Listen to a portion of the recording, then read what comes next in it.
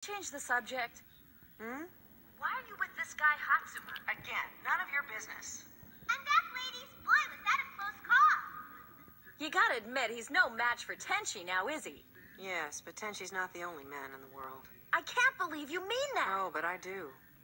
Well, then if you're out of the picture, can I have Tenchi? Oh my